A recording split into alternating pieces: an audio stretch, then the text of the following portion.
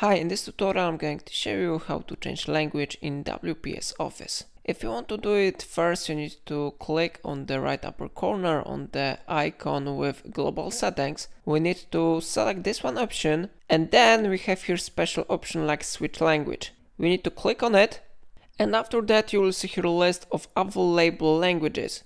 You can choose one language from the list, for example I will select here Deutsch, Deutschland. I click on this one icon and now I'm going to click on this one button to change language settings. So I click here. And then you will see this one information. You need to restart the WPS Office. Then changes will be applied. So I click on this one icon. And now I need to restart WPS Office. So I close this window and I open it again. How you see language has been successfully changed. It is set to Deutsch so in this way you can change language in WPS Office. If I helped you remember to like this tutorial and subscribe my channel. Please let me know in comment if it solved your problem.